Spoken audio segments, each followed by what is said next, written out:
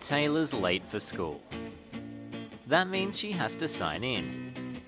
All you got to do is just put in your fingerprint um, and then it will come up with your name and um, like if you've arrived late or you're leaving early. I think it's pretty cool, it saves like a lot of time. Her school introduced the system at the start of the year. She says it saves time for students and it's really useful for teachers. That means that we know where the um, children are like at every, basically at every moment. So when there's an emergency with one click of a button we can know where everyone is. Some schools in other parts of the country use the technology too. But even though it's been around for a while, not everyone's a fan. Some don't like the idea of kids having their fingerprints taken, or worry about how the information could be used. Rick's the assistant principal.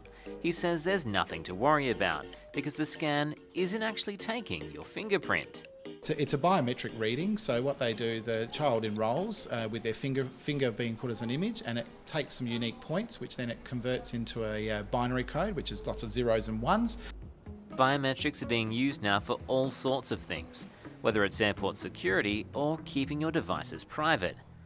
And while it might take some getting used to, these guys say it's the way of the future. I think it's a good idea because it's so much easier and more efficient. If there's a fire or anything, it's really easy just to see who's here.